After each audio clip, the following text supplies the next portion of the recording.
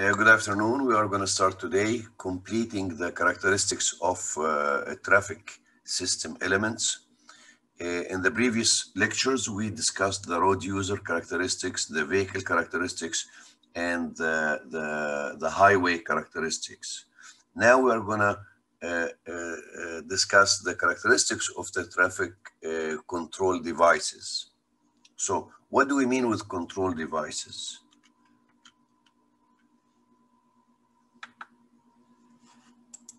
Control devices are basically uh, uh, are the media by which traffic engineers communicate with drivers. Virtually every traffic law, regulations, or operating uh, instruction must be communicated through the use of devices that fall into three broad categories. We have three broad categories for control devices. First of all, the traffic markings, which is the painting on the road, okay? The traffic signs, that these are the mounted plates on the side of the road or uh, uh, overhanging uh, on the highway, and the traffic signals. These are the three media of communication with drivers regarding the regulations, the warning, the law, okay? Uh, uh, that's, these are the three media. Okay, in order for this communication to be consistent and uniform, there's something called the Manual on Traffic uh, Control Devices, Ma Manual on Uniform Co Traffic Control Devices, MUTCD, okay? This MUTCD, there's a, a copy of it, uh, it's a GCC copy, pretty much based on uh, it's 95% of the content are based on the MUTCD. So, uh, you know, we are going to be discussing the MUTCD in this course. Uh, okay, traffic control device. What is what are the contents of the manual of uniform, on uniform control devices? The purpose of this uh, uh, document is basically to promote highway safety and efficiency by providing for orderly movement of all road users and streets and highways throughout the nation. That's basically the written purpose of it. Okay, how can the MUTCD uh, uh, achieve, you know, achieve that, you know, that goal? In order, in order to fulfill this mission, okay, uh, there are some specifications or some requirements for control devices. First of all, the control devices, the control device must fulfill a need. That means you don't put a traffic sign or uh, make a pavement marking that there is no need for, okay? Uh, it, need, it must command attention. What do we mean with command attention? That you know okay let's go first for the fulfilling a need okay? And you know to give you an example uh, don't put uh, you know uh, no parking here on a highway going through the desert. If there's a need to put this sign no. That's an example that it must be relevant okay? Second command attention command attention, what do we mean? That it should be of a size and magnitude and color that the driver will pay attention to. So that's what we mean with command attention. Convey a clear, simple message. That means you don't, you know, you cannot put a traffic sign, okay, with a paragraph written on it. No, no driver will have the, actually it will, it will, it, it will be a, a safety hazard for the highway because drivers will start reading okay this message and might get involved in accidents. So you must have a you know a very concise and very uh, short message simple message. Uh, for command respect of road users again we go to the first example. Doesn't make sense to put a sign on uh, on a on a freeway going through the desert okay and on the side you say no parking here. Okay, or uh, on uh, on a freeway, and you put a sign and say, okay, speed 60 kilometers per hour. That doesn't make sense. Okay. Uh, five, uh, give adequate time for proper response. As we mentioned before in the road user characteristics, we have perception reaction time. So if you have an exit on, uh, on a freeway, don't put the sign that the exit here, okay, right at the exit. You need to put it ahead of the exit, okay, with a distance that are relevant for the drivers to make a decision and make and, and take that turn or take, take that exit. Okay. Any questions so far? Okay. What are the core contents for the MUTCD? Okay. First of all, what are, you know, the contents of the MUCD are three basic contents. First of all, it contains standards for the physical design of the device. That means the dimensions, okay, the font, the geometry of the device, okay? Uh, whether it's a, it's a sign or it's a pavement marking or a traffic signal. Two, it gives detailed standards and guidelines on where the device should be located. That means it gives you, you know, the location relative to the highway, where it should be. Uh, third, and that's a very important one, okay, which is basically the warrants, or in uh, in uh, in uh, in layman term, that's the conditions that justify the use of this particular device. Okay, it you know, and the and the guidelines.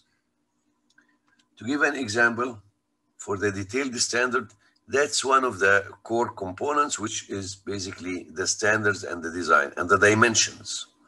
Okay, then the, these are the these are from the MUTCD, by the way. Uh, it gives you the the, the the, the dimensions or the the dimensions where to put it, you know, on the highway. So in the first one here, uh, this one this is on a rural highway. This one is on a street in the city. And as you can see, there is a, a minimum two feet from the curbside. Why? Can someone explain to me why this two feet minimum and why this one is 12 feet minimum? Hmm? I need some participation here. Uh, to make it uh, easier to read on the line si- and eyesight of the driver. Who- Who's speaking? Uh, me, Ahmed Shemri. Ahmed al-Shemri. Uh, that's for the, the, the rural area or the urban? The urban area. The urban, okay? Okay, what about the rural area? Why, the, you know, we didn't leave just two feet from the pavement? Uh, the road uh, doesn't seem to be leveled. Maybe that's why. Okay, that's a good try, but that's not actually correct. Uh, thank you anyway. Uh, some, some, someone else?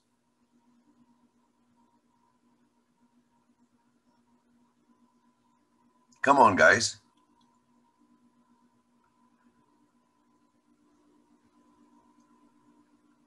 Okay.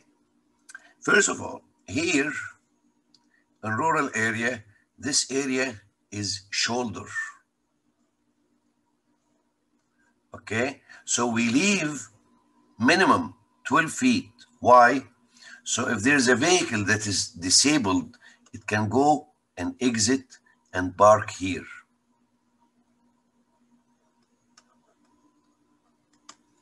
Okay, so if there is a traffic sign here, you know, somewhere here, it's going to block that. Okay, or might get hit by a car or something. But here, vehicles are not allowed to grow over the uh, you know, to go over the curb. But we leave at least two feet minimum. That's for the mirrors of the trucks. Okay, so we you know this way this sign the sign is not gonna hit by the mirror of a truck or a bus. Clear? As you can see here in this side, this is a, a shoulder, okay? And there's, again, there's six feet. The total distance from here to here is basically 12 feet to allow a vehicle to exit uh, uh, uh, from the road, you know, and park on the side of the road. Okay? Okay. So, as we as we shown before here, we have detailed standards for the design and the geometry, and here we have the the placement guidelines and the distance where it should be mounted and stuff like that. Then the last one, they, these are the warrants or the conditions when you need to, to, to you know to to, to use this control sign. For for example, these are the the, the warrants for a stop sign.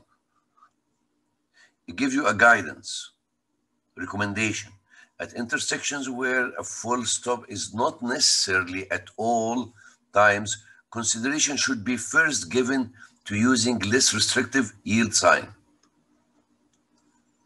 So here, you know, giving a recommendation that, you know, before going to the stop sign, examine first the yield sign. Then gives you the, the warrants for the stop sign, okay? The use of stop signs on minor street approaches should be considered if engineering judgment indicates that the stop is always required because one or more, so that's the condition, one or more of the following conditions. One, the vehicular traffic volume on the through street is uh, or uh, highway exceeds 6,000 vehicles per, per, per, day. That means if this condition uh, is satisfied, then put a stop sign. A restricted view, the side, uh, you know, the geometry of the intersection does not allow drivers to, to see, you know, the upcoming traffic. A crash record, accident records. So here it says that if the crash records, you know, uh, that three or more crashes, okay, that are susceptible to uh, correction by installation of a stop sign, and if you, if you, have within 12 months, you see, hold a second.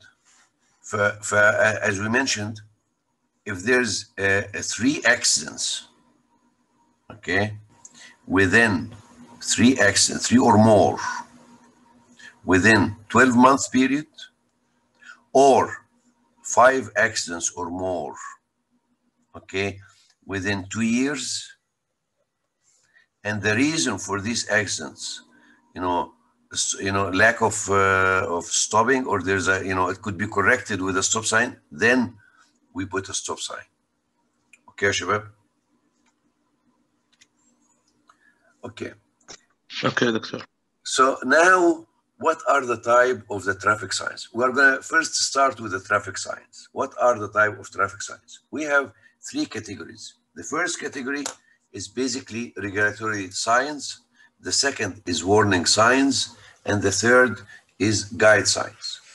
The regulatory signs here,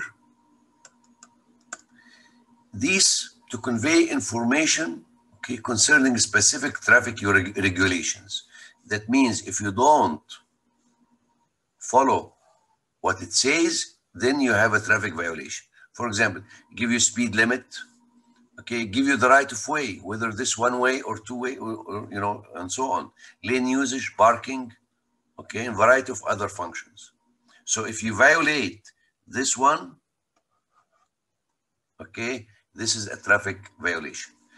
Then the second category, which is basically a warning sign. Give you, gives the driver the warning on, uh, you know, to inform the driver on, on upcoming hazard or something like that. Then there's the guide signs. The guide signs tell you, you know, for, you know, from this exit, you can go to street, blah, blah, blah. Uh, you know, if you go, uh, you know, this city after this, uh, you know, through this uh, highway and so on. So these are regulatory signs if you violate these signs, you get a, a, a, ticket for violations. Again, you know, here, for example, give you that's no turn right. If you turn right, you made a violation. If say, for the, for example, here say uh, left turn only. If you don't follow this, you have a problem, and so on. These are warning signs. The, the you know, typically they have a, a yellow background. They give you, you know, for example, you are going through a curve, and this is the recommended speed. Okay, by the way, most of these numbers are in mile per hour, okay, not kilometers per hour. So you have to pay attention to that. Uh, for example, here, give you a warning that there's a stop sign ahead.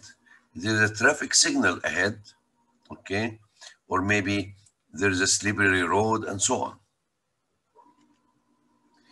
And the last category, which is basically the guide signs. It has a, a green background, as you can see. The green background, it gives you, you know, around for, a, you know, this is the, uh, on a roundabout that uh, uh, Allwood Road uh, East and, and so on. Give you directions, information, like these ones. Okay. So we discussed first the traffic signs, and we said that the traffic signs, they have uh, three categories. Regulatory and uh, warning and informative. The second category, which is the pavement marking. The pavement marking can be divided into three. Longitudinal marking, okay, and transverse and object markers. These are the, you know, like a cat eyes on the streets and stuff like that. Okay, so what are the longitudinal markings? That's an example for longitudinal markings. Lane dividers, okay? You know, here, these are lane dividers, edge of the road, okay? These are longitudinal pavement marking. By the way, the colors here are different than the colors that we have, okay? Uh, for example, here, the, the, uh, the arrows for the turns, this is a left turn, okay? and these the arrows for it.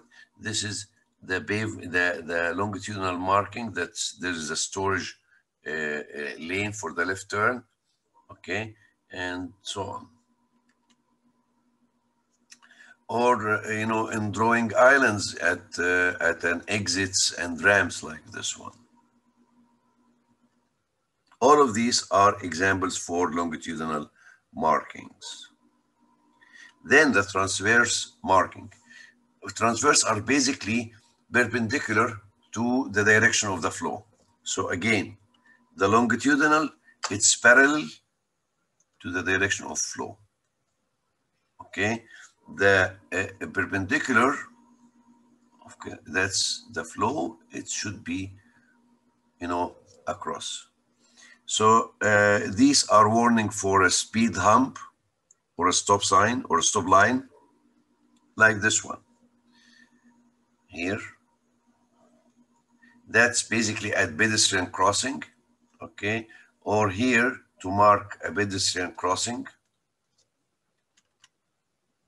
or a crosswalk marking like these ones. These are for pedestrian to, to marking the area that pedestrian should be crossing from. Or uh, parking spots. These are transverse marking. Also, the arrows are transverse marking. These are for uh, uh, speed humps without uh, uh crosswalks. And to look at the total picture, look at uh, uh, you know, roundabouts and the markings in the roundabouts. It has a, you know, a group of pavement marking. This is a single lane roundabout. This is a two lane roundabout. This is a three lane roundabout pavement marking. Then signals. Signals, basically the most important part of it is basically the, the warrants for the signals. So that's an example for a signal warrant uh, for an intersect, you know, at an intersection. It has nine warrants. At first, it has the eight hour uh, vehicle volume, the four hour vehicle volume, the peak hour, the pedestrian volume. If there's a, a school crossing, you know, if there's a coordinated signal system, crash experience, all these are, you know, at least three or four of these, I think, are sufficient to have a traffic signal. Any questions so far? Okay, so this way we conclude discussing the uh, uh, characteristics for the element of the transportation for, for the traffic system. We discussed road user characteristics. We uh, discussed uh, uh, vehicle characteristics. We discussed uh, traffic stream characteristics and traffic control devices, device characteristics. Okay. Now we are going to move on to traffic studies. First of all, I assume that all of you have uh, studied statistics before. So we will just have a, a, quick review for statistics. Then we will discuss volume, two, two, two fundamental traffic studies, the volume studies and the speed studies. Okay, so what is statistics? Basically, statistics is the art of abstracting real world via sampling. If we say that this is the real world, okay? If we need to make a judgment or to, to have a you know an assessment or criteria for this real world okay we cannot measure the real world entirely. So what we do we take this small sample then we make a data reduction we put it through a mathematical modeling okay? Then we come up with descriptive measures for the real world with a degree of confidence okay then we make decision based on that and designs. As i mentioned in the in the first lecture we discussed about we, we talked about the 85th percentile and the 15th percentile. Simply we cannot you know measure the perception reaction times for all drivers on the road. Okay? We cannot measure the walking speed for everybody on the street. Okay so what we, you know, how we do that, we just take a sample, reasonable sample size, and come up with the descriptive measures for that real world with a certain degree of confidence. Okay. Uh, when do we need uh, statistics? When we cannot measure all the data values for the population, as I mentioned before. Before starting, what do we need to address? First of all, we need to determine the sample size. You know, how many measurements are sufficient. Then, what confidence should I have in the results? Okay, how much confidence, you know, how, and uh, what is statistical model distribution or the mathematical model that describe the observed data. Then uh, we might need the, the statistics to answer, did the traffic engineering solution that we proposed or we, uh, you know, deployed made a real difference. So that's the, the conditions. Here, the first uh, part of, uh, of the analysis is basically we draw the uh, frequency histogram for the data and the cumulative frequency percentile. That's where we put here the, you know, this is the 15th percentile and that should be the value corresponding to the 15th percentile. And here, the value corresponds to the 85th percentile because that's 85%. Okay? So that's just, uh, then after that, we have a measure for central tendencies. Okay, look at it as if you are trying to get the centroid of the data. So basically, that's the mean. Okay, which is basically the average of all observations. That's the sample mean. It's not the mean for the population. We need to understand this. Then we have two values, other uh, you know other values, median and the mode. What is the median and what the mode? I think all of you knows that the median is the value corresponding to to the 50th percentile. So if we look at the 50% here, take the line here, then we go down. So that's the median. Why? Because the median by definition is the value that uh, above 50% and below 50%. That 50% of the observations are greater than and 50% of the observations are lesser than this value. Okay? Then the mode, look at the one with the high frequency. Then that's the mode.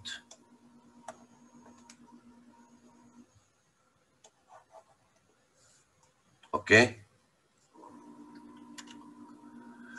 So, then, as we mentioned, here we have the measures of central tendency. That's equivalent to, you know, calculating the centroid of the data. Okay? But here, the measure of measures of dispersion. Okay? What do we mean with the measure of dispersion? That's how much the data are spread around the, the mean. For example, if we have a group of data like this, and this is the, the, the average here. Compare this to uh, another one that is like this.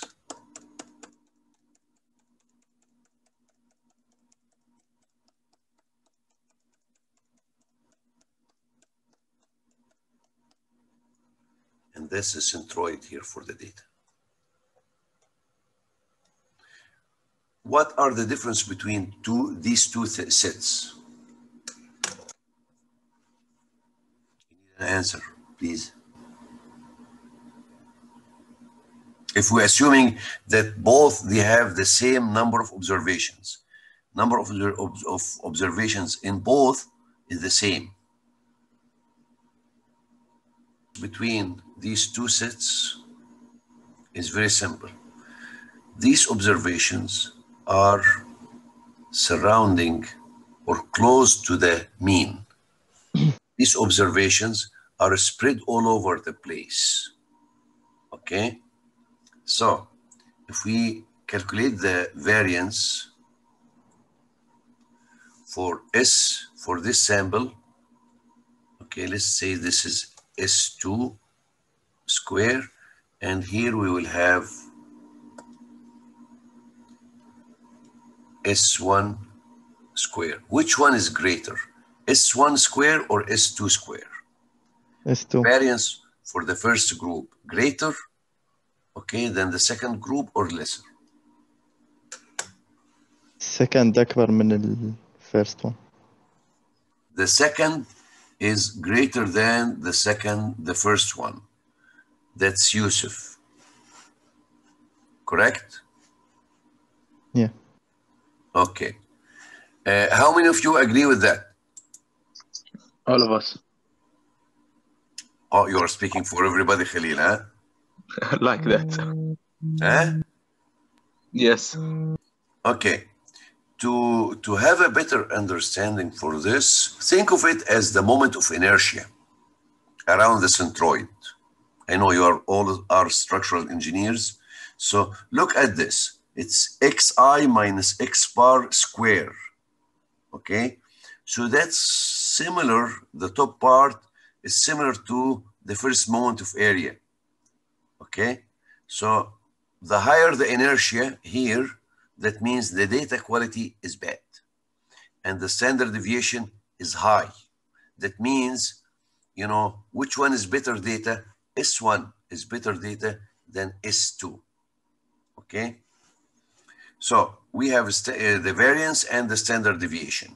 Both of these values, okay, uh, gives an, uh, a measure for how much uh, dispersion in the in the in the observations are there is there. Uh, also, uh, there is a coefficient of variation and there is the skewness. Okay, the coefficient of variation it's basically it measures the standard deviation divided by the mean of the sample. But the skewness, skewness basically gives you an indication for the symmetry of the data. Okay. Uh, we can, you know, do all of these uh, statistical analysis using Excel functions. Okay. And here I mentioned for you the the the the function that you can use to you know get these values. You can refer to it and use it later. Okay, and this is also some helpful tricks for plotting frequency diagrams and uh, you know uh, frequency uh, histogram. Then we go now to the standard error and true mean and the sample size. First of all, as we mentioned before, the case that I showed you where we have two sets of, uh, of data and one of them, the standard deviation was high, okay? There's what we call standard error.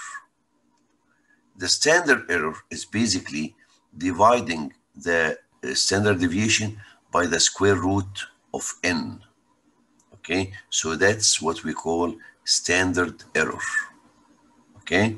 This is assuming that the error is distributed uh, uh, normally around the true mean, okay? Uh, so if we want to get the true mean range, okay, out of the sample mean, it, de depends on the degree of confidence. So if we have a degree of confidence 67%, you, you I think you have studied the normal distribution and you know that after one sigma, uh, two sigmas, okay, here minus one sigma, minus two sigmas. This area, from one sigma to one sigma, it's 67%. Percent from uh, 1.96 to 1.96 plus and minus, this area will be 95%. All of you know these values or not? Some of us, yes, and the other no. I, I am assuming that all of you have studied already statistics. Yes, because because of that, I'm saying some of that no. Uh, some students are not taking statistics till now. I have not taken statistics until now. Okay. Okay, we will elaborate on this later. However, if we are looking at, you know, uh, degree of confidence 67%, we are going to add plus or minus the one standard error. If we have a degree of confidence 95, that means we have 1.96 sigma. Okay, so we add to the mean one and subtract 1.96 uh, standard errors that define the range for the true mean. Okay, now to get the sample size, hmm, depending on the, uh, uh, first of all, the allowable error here, and n will be the sample size.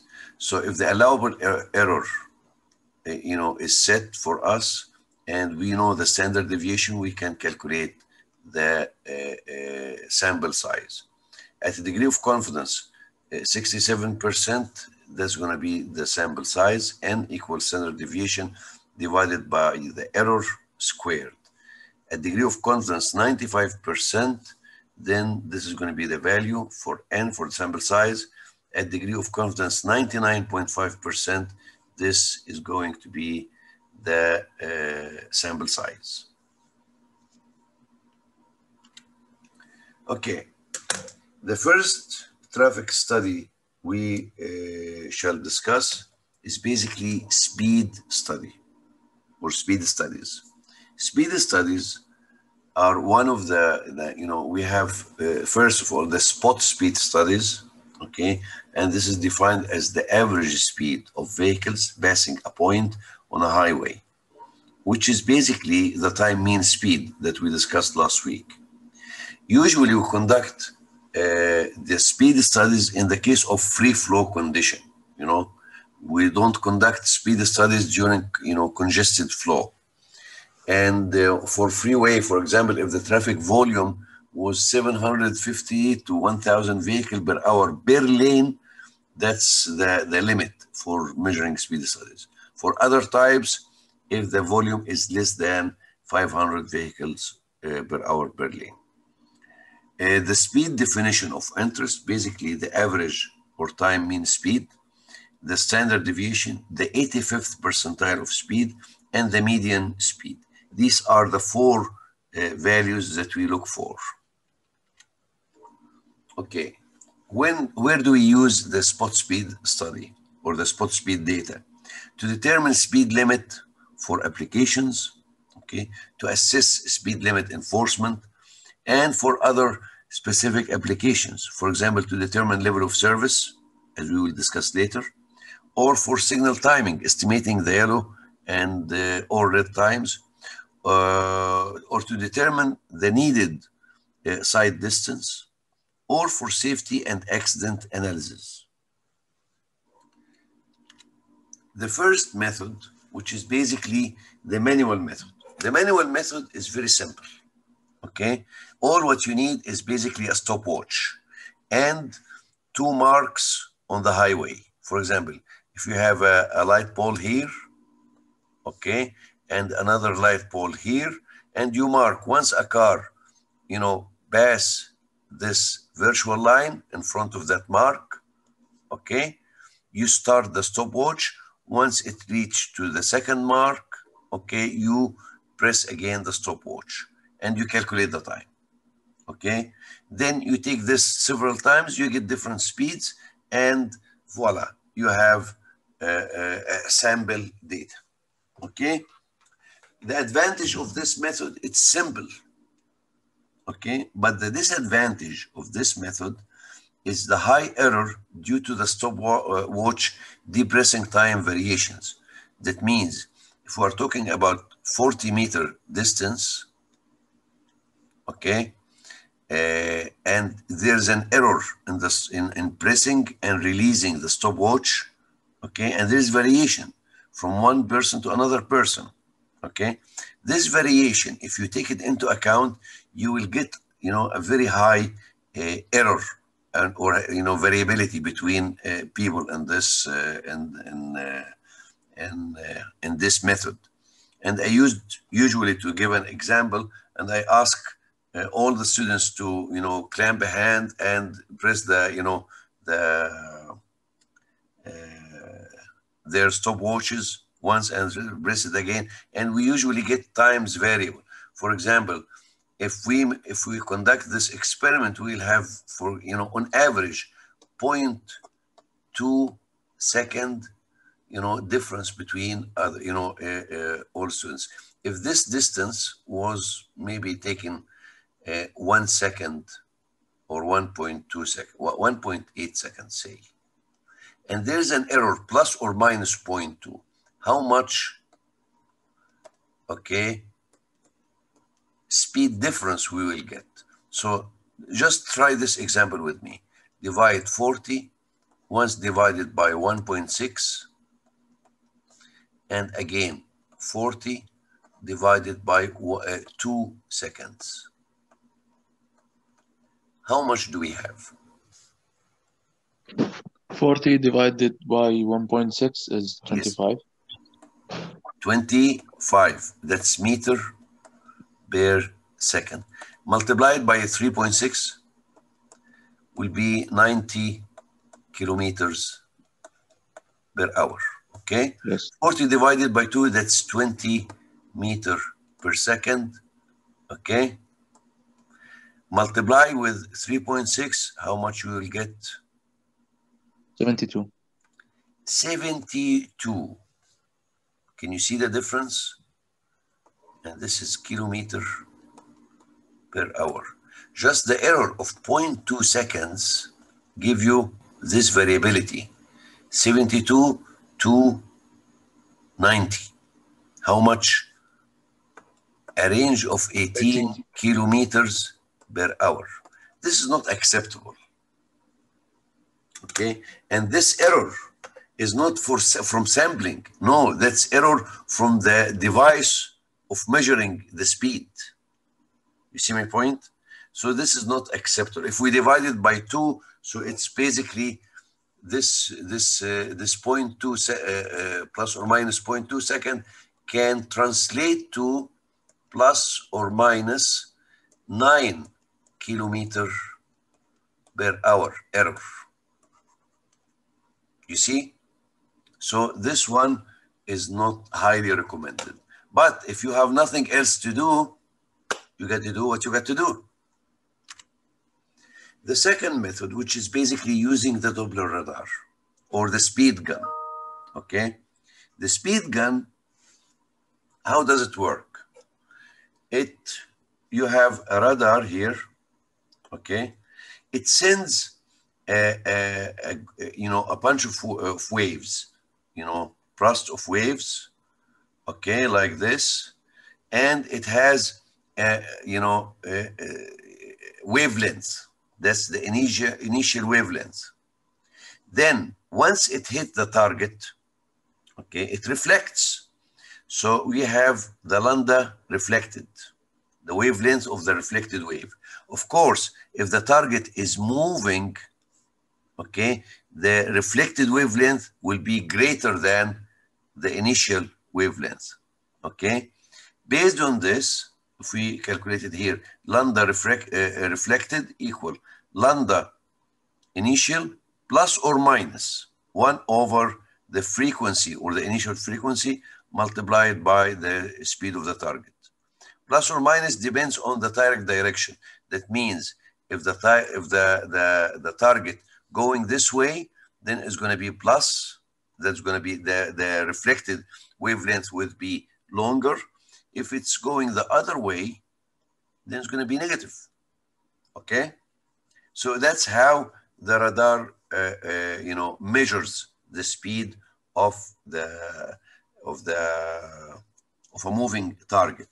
Okay, but it's important to uh, mention basically uh, the radar evaluates the reflected frequency and calculate the frequency of refle reflected. And based on that based on the two frequencies you can determine the target speed. Clear? Okay. What is the advantage? The accuracy is much higher. Of course the accuracy here compared to this method okay is much higher. But there is still error. Why? There is a sampling error in the in the measurements itself. There is a processing time error okay? But the error in this specific machine i remember it was plus or minus i think one uh, kilometer per hour okay? That's good but there is a disadvantage usually first of all it's difficult to conceal this uh, this this this tool okay? And usually when you see someone on the street with a speed gun in their hand what do you expect? Hmm? traffic police okay? So regardless if you are driving within the speed limit hmm, when people see someone with a speed gun they try to slow they try to be disciplined. I'm not, I'm not talking if they are already exceeding the speed limit, okay? But even those that are, you know, of course, if someone is exceeding the speed limit, okay, they will slow down, okay? So that's one of the major disadvantages, that it's difficult to conceal and drivers associate the radar with police, okay? So that might end up giving you, uh, you know, unrealistic uh, values for the actual speed on the highway. In order to avoid that, okay, usually we select a location that you hide behind the tree and try to measure the speed of the cars from the back. So that's way. Also, there is an important correction that we need to do for the, the, the measured values, which is getting the true speed. As we mentioned in the explanation, the apparatus give you, or the, the, the speed gun give you the speed if you measure it from the back, okay, it give you V. So if I am measuring and I have an angle, what do I get? You get basically the component of the speed on that line of, you know, or, or the aiming direction. That means the readings that you get is basically this value, the projection of the speed on this value, on this uh, uh, direction. Okay? So basically, you get this value. So you have to correct by measuring this theta and dividing the speed observation that you that, that you measured from the speed gun by the cosine. Okay because basically you are measuring the component on the direction of measurements. There's a direction of measurements and that's the true speed and basically you are getting this part of the vector okay we're getting this part only واضح okay واضح uh, spot speed uh, uh, study first you have to do uh, the graphical the uh, graphical represent you know as we mentioned you do the frequency diagram okay? Then you do the cumulative uh, frequency diagram as we can see here okay? Then uh, you give the measures which is the statistical measures which is basically the quantitative the mode the median the mean the standard deviation the 85th percentile speed and the 15th percentile speed and the uh, pace which is basically the 15 kilometer uh, per hour band then we do uh, data analysis for the speed. We calculate the standard error. Okay. Okay. Then we calculate the true mean at certain degree of confidence. Clear? Okay. Let me, I think we are going to stop today right here and we will continue uh, later on that, inshallah.